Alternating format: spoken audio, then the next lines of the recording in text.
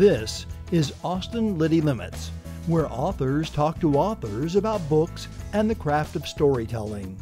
Sponsored by Blue Ink Review, because typing the end is just the beginning. Find out more at blueinkreview.com.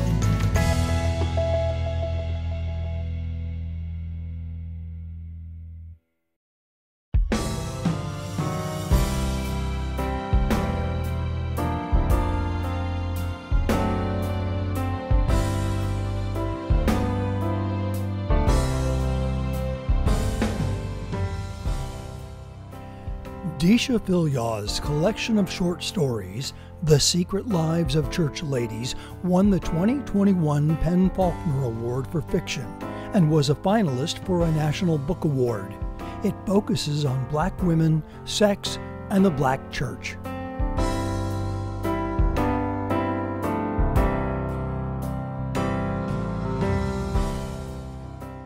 I'm Deesha Philyaw, and I'm reading an excerpt from Peach Cobbler a story in my collection of stories, The Secret Lives of Church Ladies.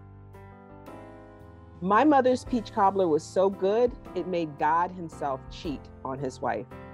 When I was five, I hovered around my mother in the kitchen, watching, close enough to have memorized all the ingredients and steps by the time I was six, but not too close to make her yell at me for being in the way, and not close enough to see the exact measurements she used. She never wrote the recipe down. Without having to be told, I learned not to ask questions about that cobbler or about God. I learned not to say anything at all about him hunching over our kitchen table every Monday, eating plate after plate of peach cobbler, and then disappearing into the bedroom I shared with my mother. I became a silent student of my mother and her cobbler making ways. Even when I was older and no longer believed that God and Reverend Troy Neely were one and the same, I still longed to perfect the sweetness and textures of my mother's cobbler. My mother, who fed me TV dinners, baked a peach cobbler with fresh peaches every Monday, her day off from the diner where she waited tables. She always said Sunday was her Saturday and Monday was her Sunday. What I knew was that none of her days were for me. And for many of those Mondays off and on during my childhood, God, to my child's mind, would stop by and eat an entire 8 by 8 pan of cobbler. My mother never ate any of the cobbler herself. She said she didn't like peaches. She would shoo me out of the kitchen before God could offer me any, but I doubted he would have offered even if I had sat right down next to him. God was an old fat man, like a black Santa, and I imagined my mother's peach cobbler contributing to his girth. Some Mondays, God would arrive after dinner and leave as I lay curled up on the couch watching Little House on the Prairie in the living room.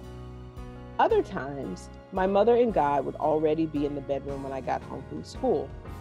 I could hear moaning and pounding like a board hitting a wall as soon as I entered the house. I would shut the front door quietly behind me and tiptoe down the hall to listen outside the bedroom door. Oh God, oh God, oh God, my mother would cry. I could hear God too, his voice low and growly, saying, Yes, yes, yes.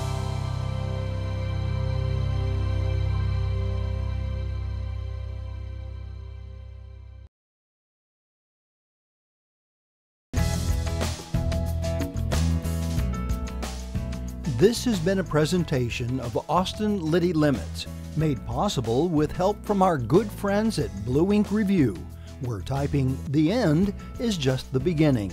Find out more at blueinkreview.com.